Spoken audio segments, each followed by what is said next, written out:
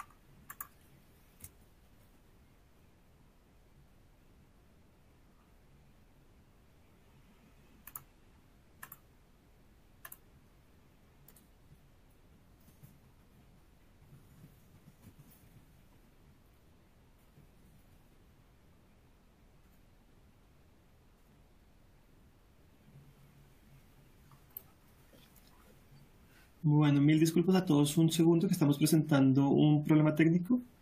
Entonces, regálenos un minuto y ya, y ya continuamos.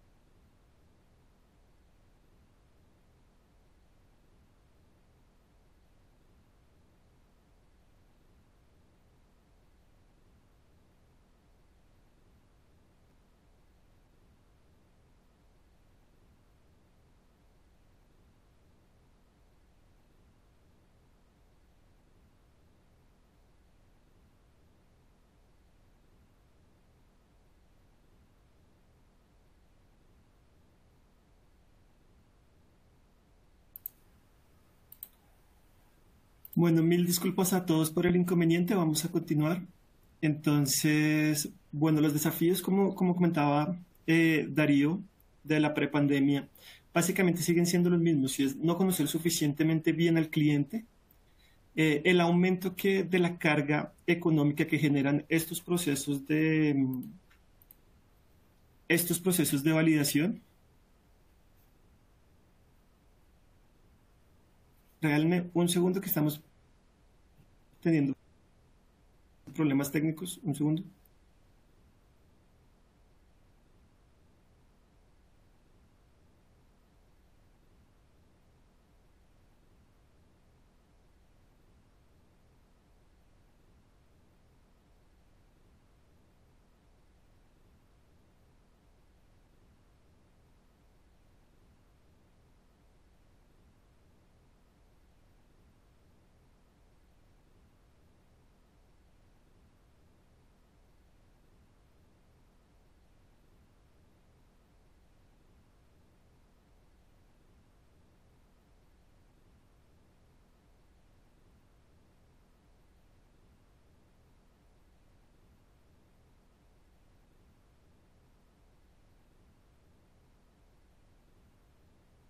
Mil disculpas. Vamos a continuar.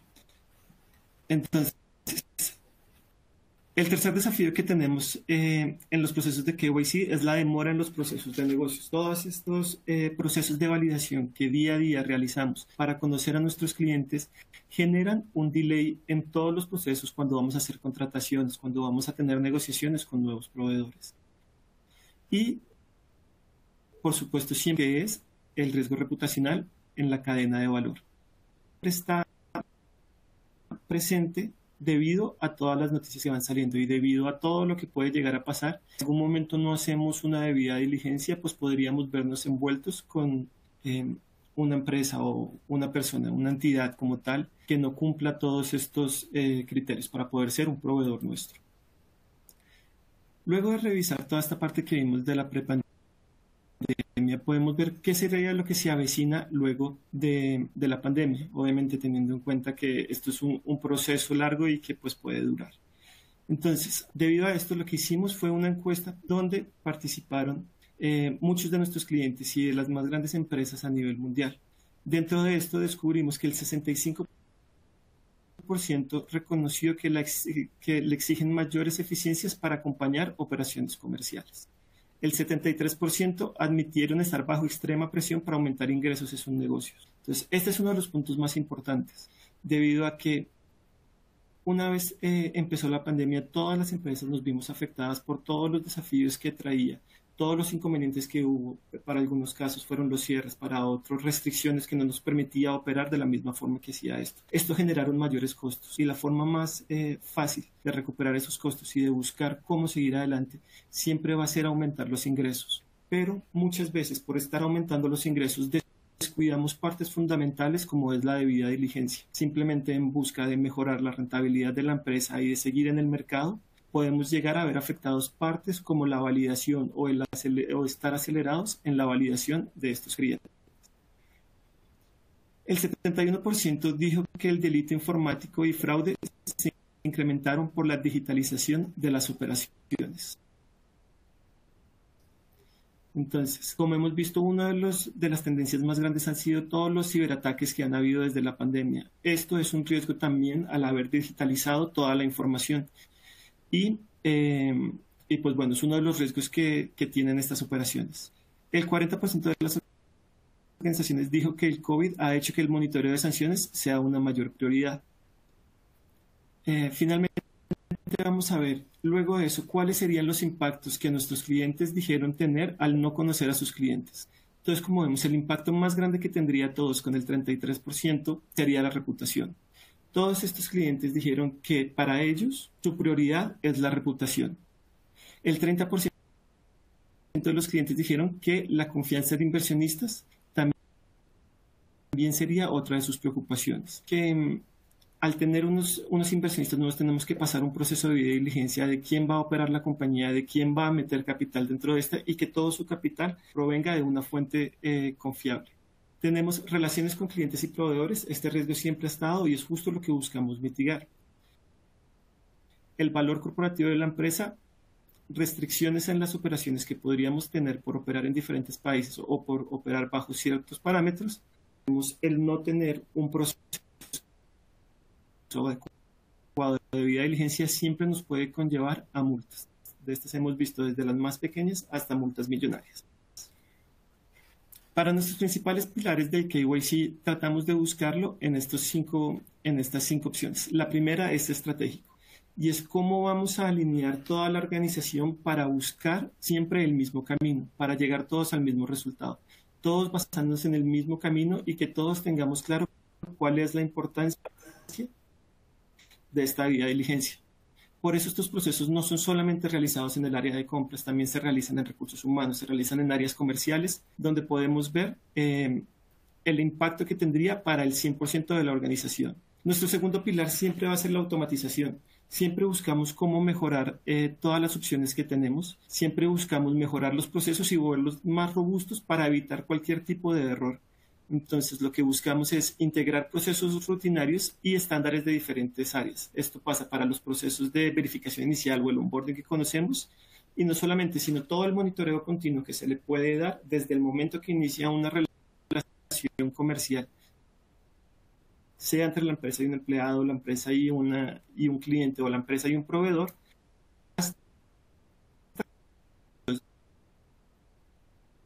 no solamente sino es mantener constantemente una investigación y un proceso donde vamos viendo eh, la relación que tenemos. Enfoque holístico. Entonces, muchas veces nos dicen que simplemente vamos a validar o, o, las regulaciones nos exigen validar listas de terrorismo, de narcotráfico, pero nosotros tenemos que ir un poco más allá, tenemos que protegernos. Hemos visto las tendencias del mercado, sabemos hacia dónde vamos, entonces cómo vamos a incluir todo dentro de la misma función, ¿cómo vamos a hacer para incluirlo? Para que siempre tengamos una validación exitosa. Eso aplica para los cibercrímenes que como vimos estaban creciendo. Para, vemos toda la parte ambiental que ha ido incrementando y las medidas que se han ido tomando sobre, sobre crímenes ambientales. Tener siempre una investigación integral donde vamos a ver todos los perfiles, no solamente ver si una persona está en una lista, si no está en una lista, sino también tener la información acerca de si estas personas tienen prensa, si se han visto envueltos en noticias que pueden llegar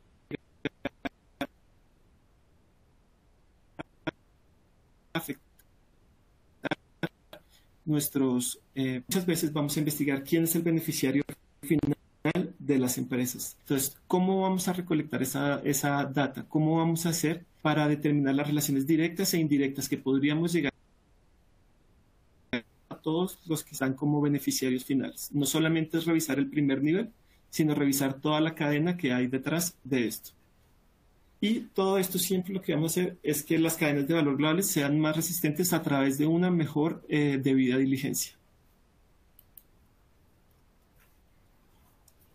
Bueno, entonces, estas son las diapositivas más interesantes que vimos, ya que dentro del reporte del 2019 y el 2021 vimos unas variaciones. Vimos que en el 2019 el 49% de las organizaciones aplicaron una debida diligencia a sus 21, el 44% de las empresas aplican una debida diligencia. Pero la historia es diferente. Esto no significa como tal que las personas hayan dejado de hacerlo, las empresas hayan dejado de hacerlo. Esto también tiene mucho que ver con las tecnologías que se han desarrollado. Mientras en algunas áreas se han ido quitando procesos de debida diligencia para, incluirlas dentro de un área holística, también hemos visto cómo las tecnologías ayudan a realizar estos procesos de forma automática sin que tal muchos usuarios de la empresa se enteren. Entonces, la innovación de las tecnologías siempre nos ayudan a identificar proactivamente todos aquellos riesgos a los que estamos expuestos.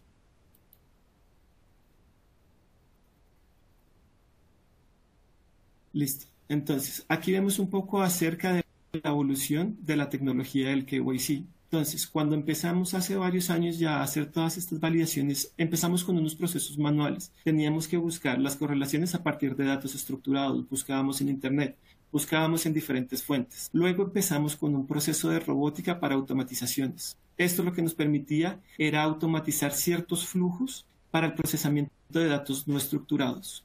Hoy en día hemos avanzado a un punto de machine learning e inteligencia artificial, donde los sistemas reconocen y van viendo las tendencias, nos ayudan a identificar los patrones de riesgo. Ya no solamente estamos viendo si existen personas que estén involucradas, sino cuando tenemos personas ya dentro de nuestro sistema, cómo podemos identificar patrones que eh, generarían un riesgo para la empresa, ciertas, eh, ciertos procesos que realizan, y esto lo logramos a través de inteligencia artificial con Machine Learning. Bueno, entonces, ¿cuál es el impacto que podríamos tener en todo esto? ¿Y por qué necesitamos optimizar el proceso de KYC? Primero son los beneficios brutos, es el ciclo de venta. Necesitamos buscar la forma de mejorar todos estos procesos de la forma más económica posible y que el flujo para las operaciones de la empresa no se vean afectadas y sean de la forma más transparente. Esto generaría un beneficio neto. Muchas veces el área de, de compliance y estos procesos se han visto como si fueran un gasto, pero la realidad es que eh, es un gasto necesario, es una, una necesidad que tenemos es un proceso que no se ve como inversión porque no nos ayuda como tal a generar un ingreso a la empresa, pero que es un gasto que nos ayuda a protegernos como tal para no vernos envueltos en multas, en sanciones, en la inclusive la prohibición de operar en algunas regiones. Y por supuesto siempre vamos a tener una parte ética de reputación y valor. Esta parte es muy sencilla. Las multas podemos llegar a pasar, pero la reputación que genera la empresa, la imagen que genera la empresa dentro de todas las personas, recuperar el valor de una marca no es tan fácil como simplemente reponerse después de haber pagado una sanción. Por eso siempre hay que tener estándares de cumplimiento eh, para los impactos que podemos llegar a tener también en estos crímenes medioambientales y obviamente pues en todos en general. Bueno, entonces, antes de comenzar, como bien les comentó Darío, el día de hoy nos acompaña eh, un experto en el tema. Entonces, quiero darle la bienvenida a Agustín Castro, que nos acompaña. Hola Agustín, ¿cómo estás? ¿Qué tal? Buenos días a todos. Muy bien, gracias. Ah, bueno, Agustín, pues muchísimas gracias por acompañarnos el día de hoy. La verdad es que para nosotros es un gusto tenerte eh, el día de hoy. Entonces, pues queríamos hablar contigo y te teníamos unas preguntas para que fuéramos revisando un poco acerca de qué nos puedes comentar tú acerca de todo esto. Entonces, lo primero que quería preguntarte realmente es, si miramos en retrospectiva 15 años hacia atrás, estos procesos como tal que habíamos hablado no existían. Eh, ¿Por qué crees que la debida diligencia cobró sentido para las organizaciones que no son excluidas del sector financiero? Sí, gracias Andrés. Mira, eh, obviamente no es un solo factor el que ha tenido un impacto eh, en este tema. La minimización de riesgos, o más bien la necesidad de minimizar los riesgos, eh, yo creo que ha ido aumentando a través de los años en todos los mercados y en todos los países. pero también pondría yo como un factor muy importante el aumento en las regulaciones que existen en los mercados y en las compañías. ¿sí? Por ejemplo, a nivel global, pudiéramos hablar de 15 años hacia acá, eh, el tema de las regulaciones de human rights se han endurecido bastante, obviamente buscando un bien común para las personas. Eh, en algunos países de Europa, por ejemplo, las regulaciones ambientales también eh, se han fortalecido enormemente en los últimos años. por su lado, si hablamos de Latinoamérica, tenemos países que las regulaciones y restricciones eh, de negocios apuntando a, disminuir eh, temas como el terrorismo o la delincuencia organizada. Eh, creo que todo esto hace que esta actividad de conocer a nuestros, a nuestros clientes, a nuestros proveedores, haya tomado esta relevancia de la que hoy estamos hablando. Por supuesto, te entiendo. Y muchísimas gracias por compartir con nosotros todo este conocimiento que tienes. La segunda pregunta que quería hacerte es, em, ¿cuáles son los principales desafíos que has encontrado al implementar estos procesos de KYC dentro de la organización? Eh, el principal desafío ya lo comentaste eh, hace, hace un rato en uno de los slides que nos estabas compartiendo, y es precisamente el alinear este tiempo que toma el proceso de conocer al cliente con la necesidad de las áreas operativas de la compañía. Es decir, atravesar todo el proceso de reconocimiento y de investigación sobre una compañía en el tiempo en el que el área operativa necesita tenerla disponible para entablar una relación comercial. ¿sí? Ese es el desafío eh, que yo te diría, no, no, paso un día dentro de mis actividades que, gran parte de mi tiempo no esté enfocado a, a, esto, ¿no? A que hagan match el tiempo que nos toma a nosotros hacer eh, la debida diligencia, que ese tiempo se adecue al requerimiento de las áreas comerciales operativas.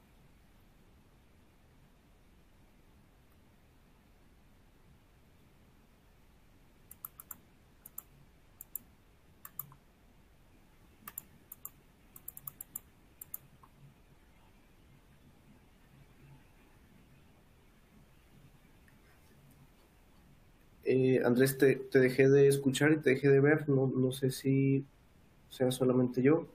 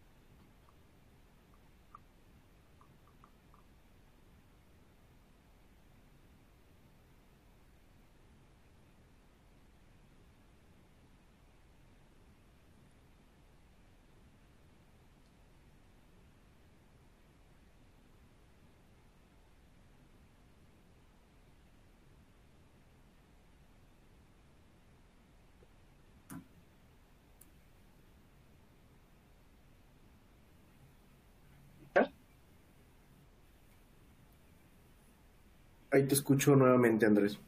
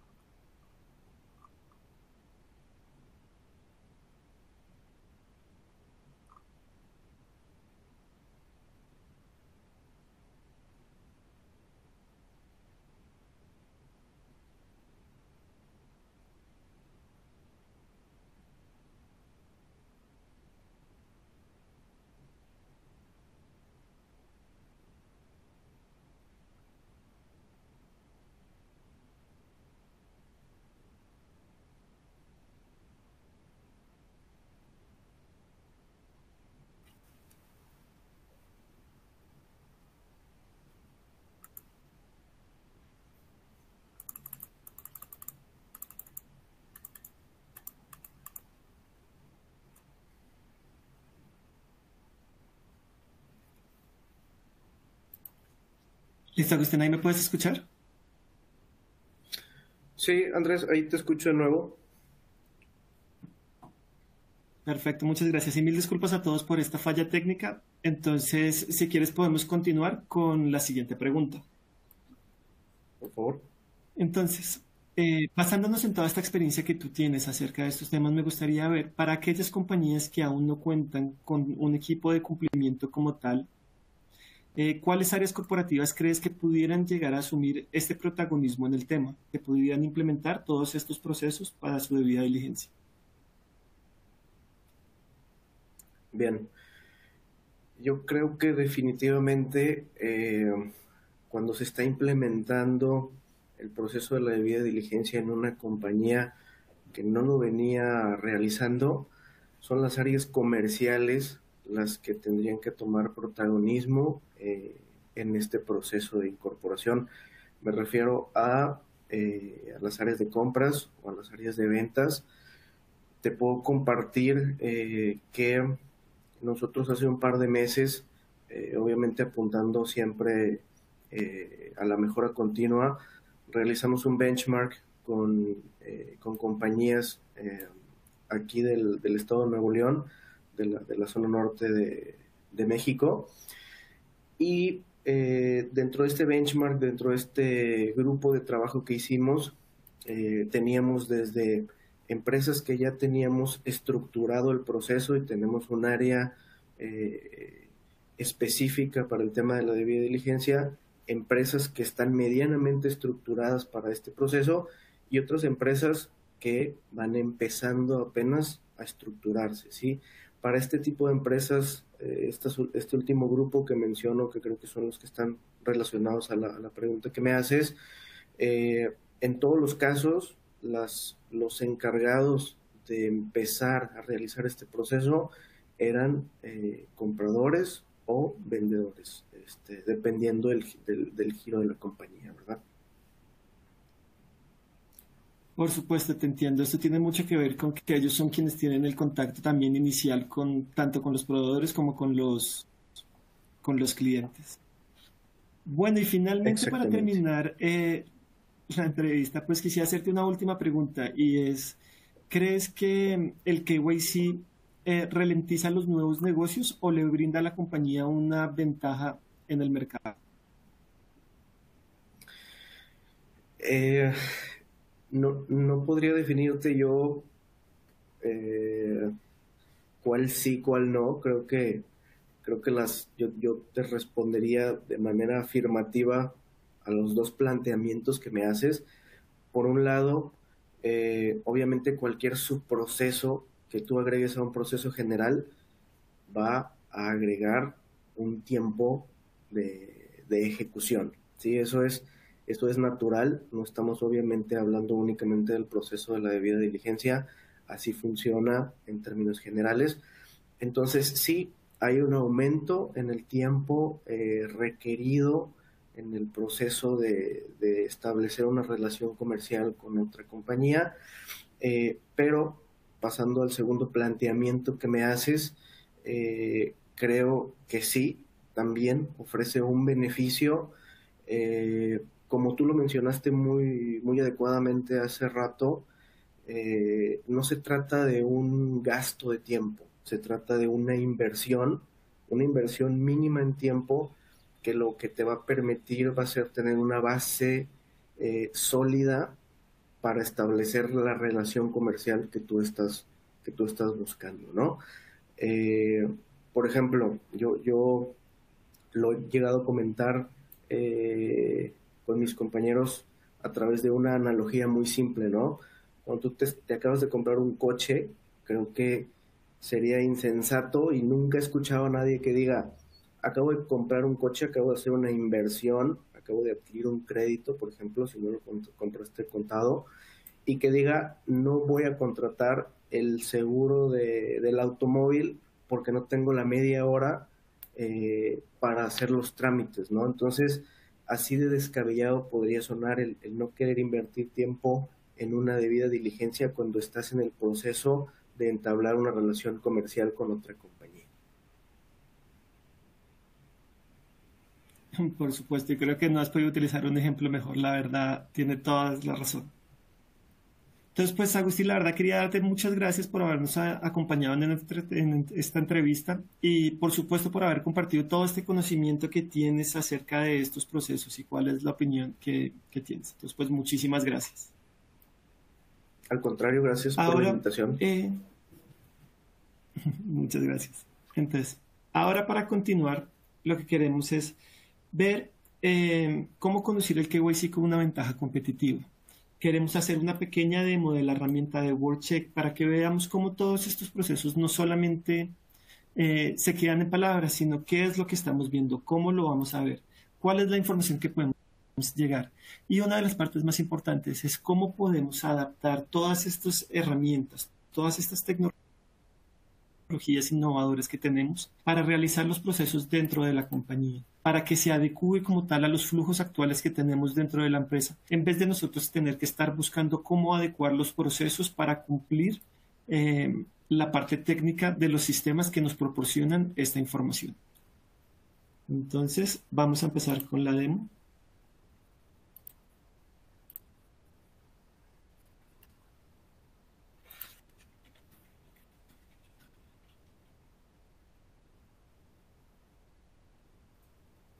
Vamos a darle solamente unos 30 segundos para que cargue la pantalla y podamos ver el sistema. Y comenzamos.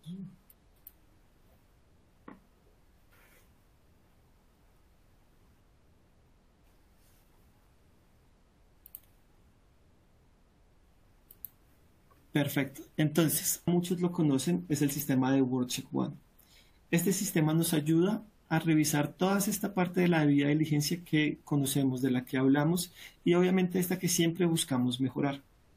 Entonces, lo primero que vamos a ver dentro del sistema es que es un sistema bastante amigable. De entrada, es un sistema que también tiene la información en español. No solamente me va a traer la información en inglés como muchos otros, sino lo tenemos en español. Dentro de este podemos crear diferentes grupos. Pues una de las funcionalidades más claras que tenemos es acá a la izquierda donde pueden ver mi cursor. Es que nosotros podemos crear grupos dentro de la herramienta.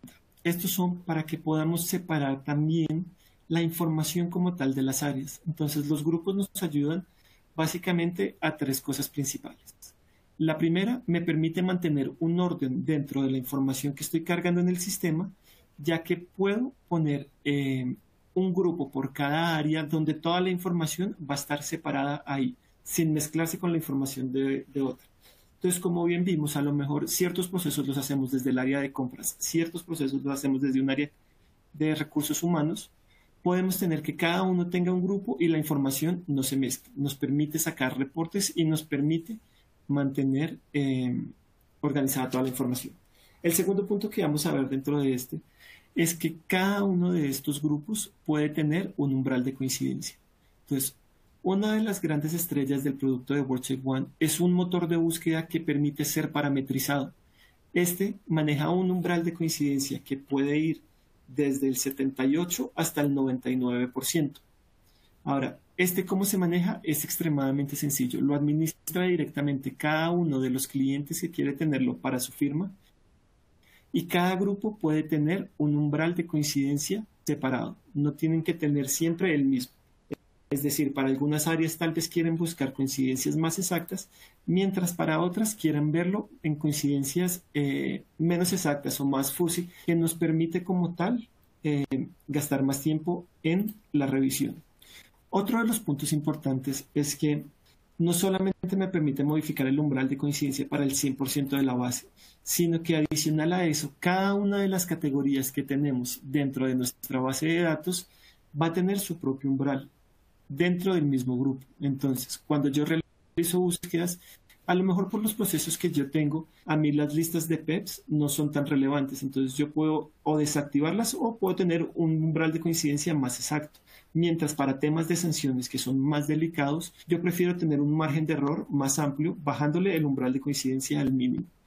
Y así cada uno de ustedes puede tener una parametrización diferente, ayudándolos a que el sistema se adapte a las necesidades de ustedes.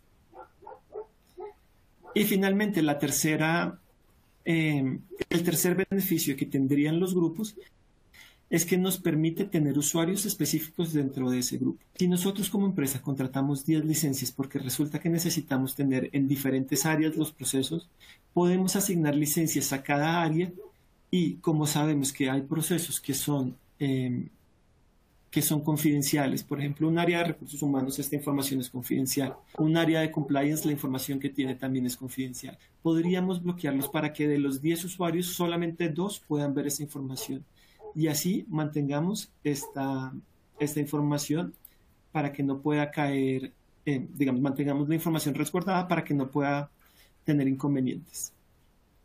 Luego que nosotros seleccionamos el grupo que vamos a realizar, simplemente podemos realizar consultas basándonos en los tipos de, de búsquedas que hagamos y luego solo tenemos que poner la información a la derecha.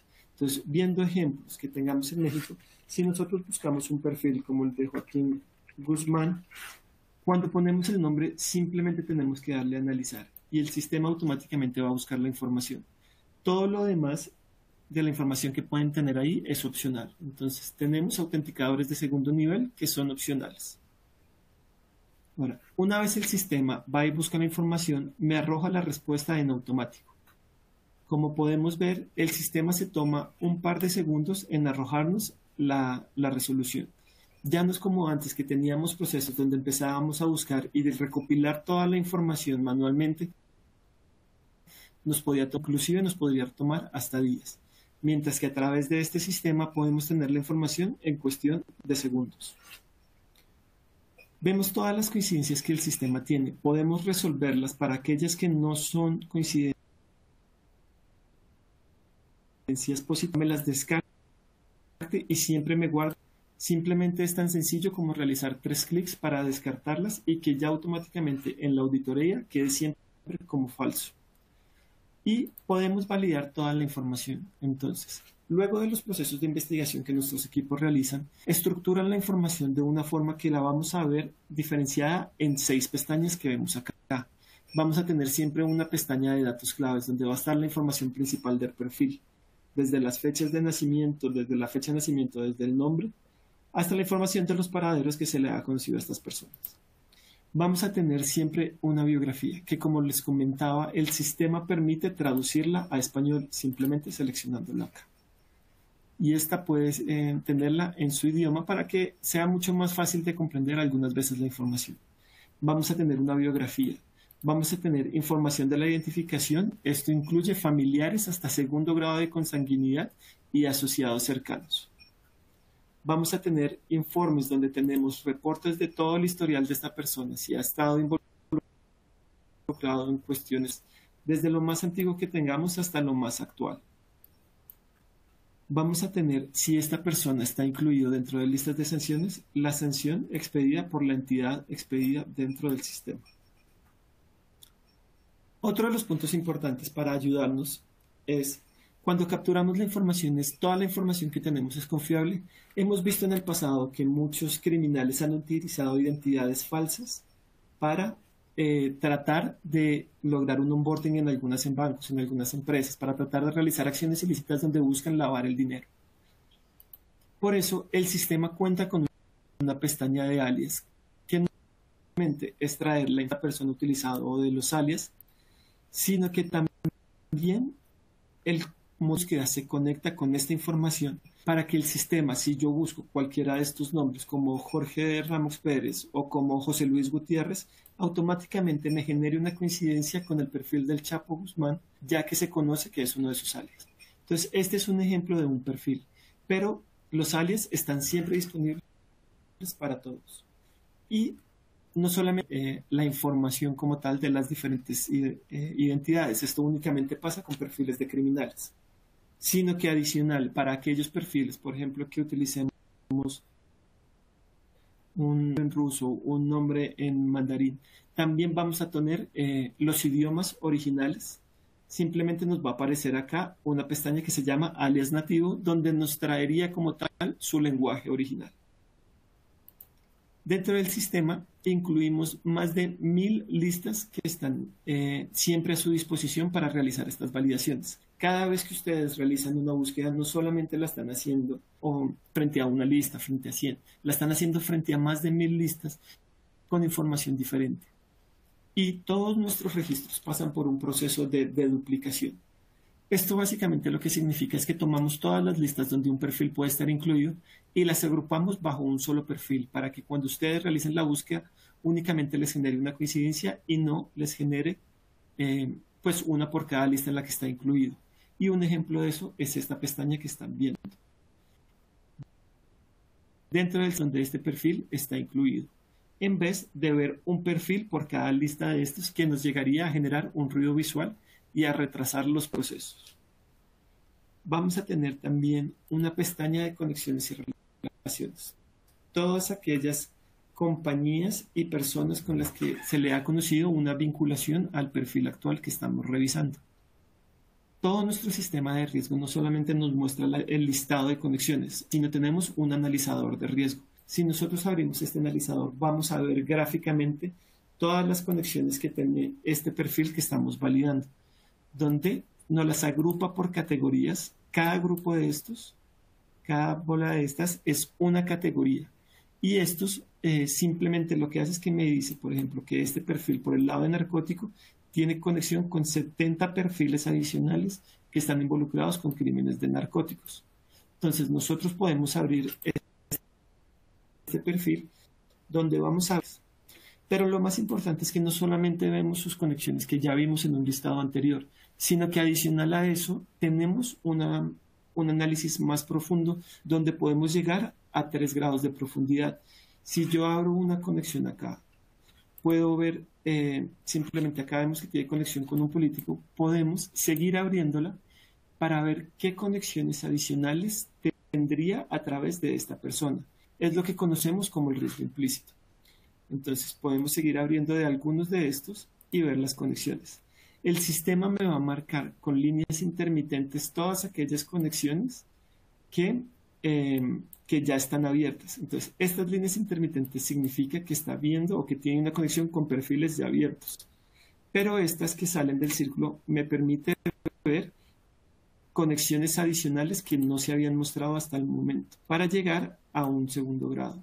Y finalmente, como les mencionaba, el sistema me permite llegar a 3 grados. Entonces, si yo alejo un poco y reviso todo, vemos que en el medio está el perfil que estamos validando, vemos sus conexiones directas, indirectas en segundo grado y tercer grado.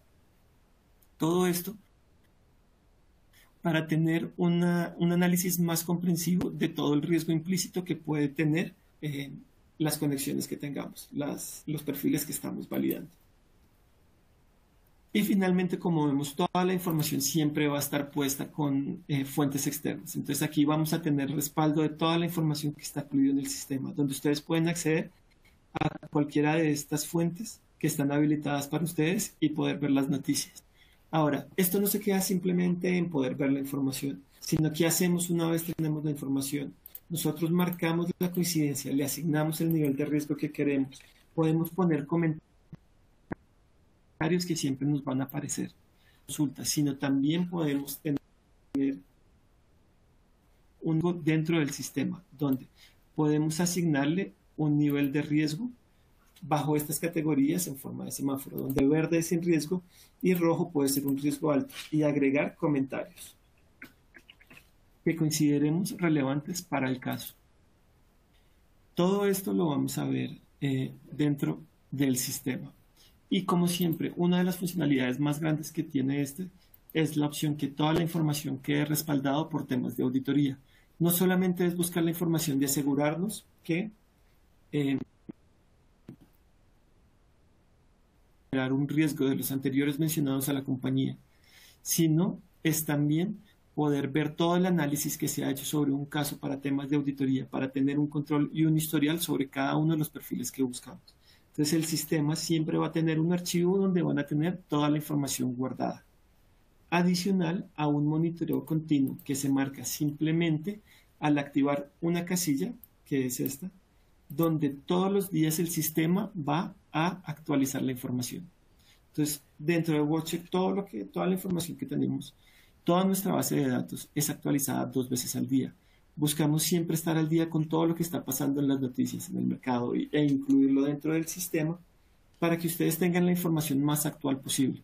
Por eso nuestra base de datos pasa por dos procesos de actualización al día. Pero adicional a eso lo que hacemos es no solamente actualizar la base, sino si ustedes quieren tener un monitoreo continuo, simplemente le marcamos una casilla a uno de estos perfiles que ustedes buscan con esta casilla va a actualizarse todos los días y cuando encuentra un riesgo, a lo mejor una actualización que tuvo un perfil, a lo mejor un perfil nuevo que cumple el criterio de búsqueda e ingresó, el sistema me va a alertar con un correo electrónico para que yo pueda entrar a revisar cuál fue la actualización que tuvo este caso. Entonces, em, este es el sistema, como ven, es bastante sencillo, es bastante bueno y em, es bastante eh, amigable para utilizar. Tenemos diferentes módulos. Esto es una pequeña muestra de todo lo poderoso que puede llegar a ser y de toda la información que puede llegar a tener, más no significa que sea lo único que hace. Este se conecta con bases de datos de medios de comunicación. Podemos incluirle búsquedas de beneficiario final para aquellas empresas que trabajan también dentro de su cadena con embarcaciones, también podemos incluir información de eh, embarcaciones. Entonces, volviendo a, las diapositivas, finalmente, eh, lo que vamos a ver es cuáles son los fundamentos para escalar sus procesos de KYC. Entonces, eh, nosotros siempre buscamos ayudar siempre a nuestros clientes, apoyarlos, no solamente eh, cuando contratan un producto, sino en general cada vez que ellos lo necesitan para realizar estos cinco pilares que vimos, que es para una estrategia eh, exitosa. Son cinco pilares como lo vimos anteriormente. Entonces tenemos la automatización de los procesos para que tengan siempre integrado dentro de su flujo de trabajo procesos automáticos que nos permiten reducir la cantidad de riesgos que se generan al tener procesos manuales. La asertividad de las aplicaciones que, que utilicemos dentro del sistema. Entonces, parte de todo esto es que la aplicación no solamente esté automatizada, sino que su funcionamiento y su aplicación sea la correcta, para que no tengamos que utilizar el tiempo de un experto. La otra es realizar un análisis holístico. Entonces, como vimos, los sistemas se conectan con diferentes bases de datos, no solamente es WordCheck, sino tenemos MediaCheck, tenemos UBO, para que el sistema haga una validación completa de las listas, de los medios de comunicación, de quién es el beneficiario final de esta, de las embarcaciones en caso que cuente con embarcaciones, y generarnos a nosotros una estructura mucho más eh, robusta en la, validación. Una vez tenemos todo este, todo este sistema implementado, pues el siguiente paso siempre va a ser buscar cómo mantenernos actualizados con esta información. Por eso el monitoreo continuo o la automatización del monitoreo continuo es el cuarto pilar, porque al momento de realizar el onboarding validamos, pero cualquier información puede ser descubierta después de eso o se pueden ver envueltos en diferentes, en diferentes casos los diferentes proveedores o clientes que tenemos. Por eso el monitoreo continuo siempre va a ser una de las mejores prácticas del mercado. Y finalmente es cómo vamos a tener esa, esa solución de costo efectivo, digamos, el costo de la, de la herramienta versus la efectividad que tiene. Y por eso muchos de estos procesos están integrados con Machine Learning y con inteligencia artificial, como lo vimos en las diapositivas anteriores. Siempre buscando brindarles las mejores opciones y eh, brindarles una herramienta lo más robusta posible para que eh, siempre estén seguros. Finalmente, queríamos dejar un espacio para preguntas y respuestas. Entonces, me gustaría ver si dentro del público tenemos algún, em, alguna pregunta. Vemos que ya llegó la primera y es, ¿qué tipo de riesgos son cubiertos por WordCheck? Entonces, dentro de WordCheck la información que tenemos está basada en diferentes crímenes. Entonces, tenemos el riesgo reputacional, tenemos el riesgo de multas, el riesgo de sanciones. Buscamos tener, como les mostraba, un análisis holístico para reducirnos todos estos que podemos llegar a tener. Por eso nuestra base de datos no es únicamente temas de narcotráfico o terrorismo, sino que adicional de esos cubrimos riesgos reputacionales como son los crímenes ambientales, la vida silvestre. Buscamos también toda la parte de crímenes cibernéticos para reducir los riesgos que podemos llegar a ser, eh, tener una máquina hackeada. Toda la parte legal, inclusive eh, temas de impuestos. La siguiente pregunta que me hacen es, ¿WordCheck puede ayudar a los asset managers? Y la respuesta sería, por supuesto dentro de, todas las validaciones que tenemos de WordCheck, vimos todos los diferentes bases de datos que tenemos. Asset Managers eh, también sigue siendo una empresa que requiere una validación, al igual que el sector, eh, que los demás sectores de, o demás industrias. Dentro de WordCheck vamos a encontrar información que puede ser relevante para sus inversiones, para inclusive sus fuentes de información, sus proveedores que tienen todas las empresas deben pasar por estos procesos de debida diligencia que no solamente va a ser desde contratar un empleado y analizar su historial hasta ver quién es el beneficiario final de la persona que podría estar invirtiendo en la empresa en la que estamos. Por eso también para los asset managers es, es bien relevante, porque el sistema me permite revisar todos los beneficiarios finales y los antecedentes de cada uno de estos.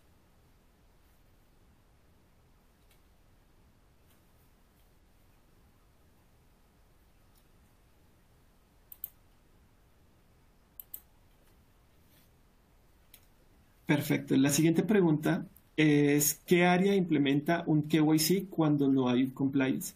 Y este tema va muy de la mano con una de las preguntas que le hicimos a, Agustín, ya que muchas de, las empresas que todavía no cuentan con un sistema o con un área específica implementada de compliance, eh, se reparten esta labor como tal en los diferentes procesos. Normalmente, como nos mencionaba Agustín, estos procesos terminan en las áreas comerciales, donde vemos quiénes son los que hacen el onboarding de los nuevos proveedores, de los nuevos clientes.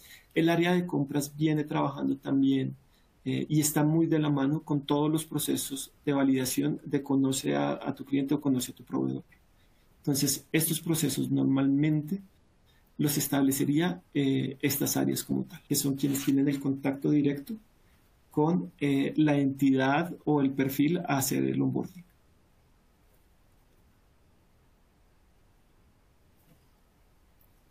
Bueno, la verdad, como, como pudimos ver, el sistema y, y el KYC es un mundo que ha ido evolucionando. Entonces, a medida que va pasando el tiempo, analizamos las tendencias, vemos todo lo que está pasando en el mercado, vemos todo todas las formas y hacia dónde podemos llegar a ir.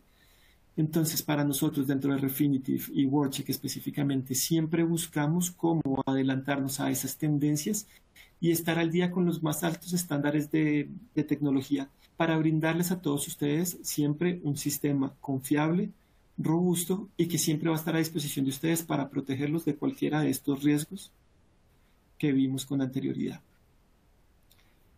Finalmente, pues quería darle las gracias a todos por participar y por supuesto a, Agustín por acompañarnos. Muchísimas gracias Agustín, para nosotros realmente fue un honor tenerte con nosotros el día de hoy.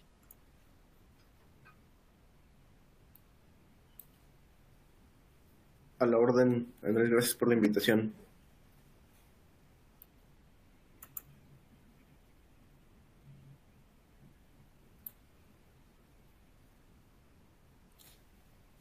Muchísimas gracias a todos por participar, muchísimas gracias Agustín y los invitamos a visitarnos en nuestro sitio refinitiv.com donde podrán ver toda la información de la empresa y también ahí podrán encontrar las ligas para los webinars que damos y que puedan participar.